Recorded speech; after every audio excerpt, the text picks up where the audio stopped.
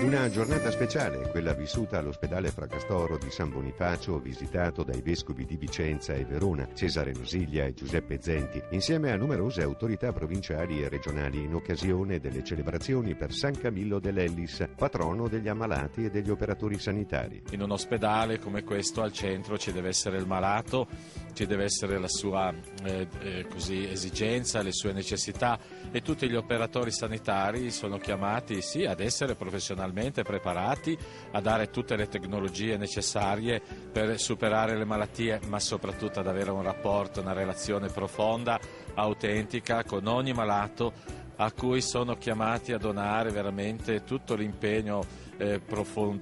sia la loro competenza ma la loro umanità. Questi sono momenti delicatissimi in cui uno si confronta con se stesso, con la propria vita e possibilmente anche con il termine della vita terrena che gli sia dato occhio per oltrepassare quella barriera della vita terrena, come si chiama appunto la morte, e che ci aiuti ad entrare, aiuti ognuno e quelli che sono malati, anche gravi,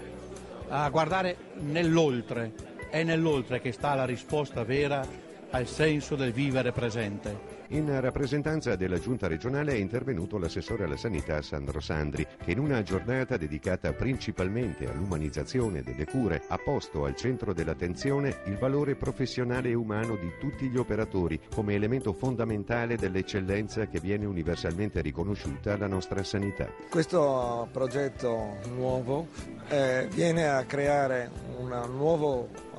modello eh, di assistenza e di accoglienza nei confronti dei pazienti, ma soprattutto un nuovo rapporto eh, del, del, sistema ospedaliero con il territorio. Noi come personale ospedaliero siamo, cerchiamo di dare la massima attenzione all'argomento, l'umanizzazione è fondamentale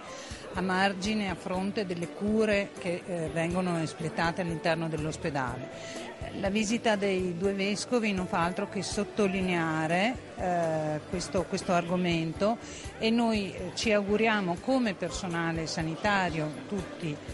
di qualsiasi ruolo e genere, di andare sempre meglio in questa direzione. Nel corso della mattinata i vescovi Nosiglia e Zenti, l'assessore Sandri e molte altre autorità, tra le quali l'assessore regionale Stefano Valdegamberi, il presidente della Commissione Sanità del Consiglio Veneto Raffaele Bazzoni, il sindaco di Verona Flavio Tosi e il presidente della provincia Giovanni Miozzi hanno anche visitato vari reparti tra i quali pediatria, geriatria, lungodegenza, terapia intensiva.